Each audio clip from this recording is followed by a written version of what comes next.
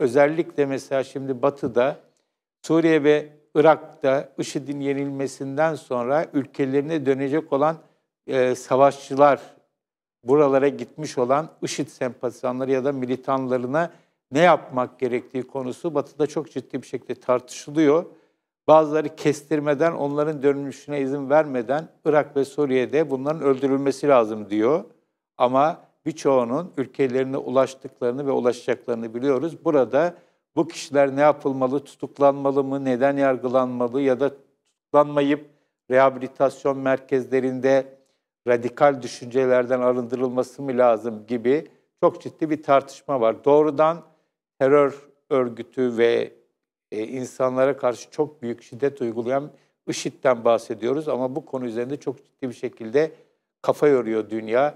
Ama bizde e, neredeyse selam vermiş herkesin bir şekilde terörist olarak damgalandığı bir süreçten geçiyoruz. Bir yılı aştı, çoktan aştı e, 15 Temmuz ve bu sürüyor, biteceğe benzemiyor.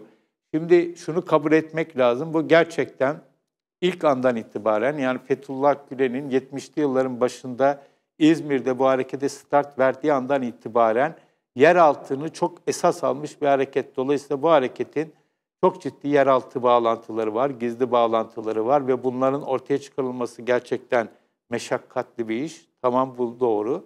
Ama e, bunun ölçüsünü tutturamadığı zaman e, bir devlet ve o devlete de e, destek verenler sonuçta bu hareketle, bu örgütle mücadelelerinde kaybetmeye bence mahkumlar ya da kazanamamaya mahkumlar.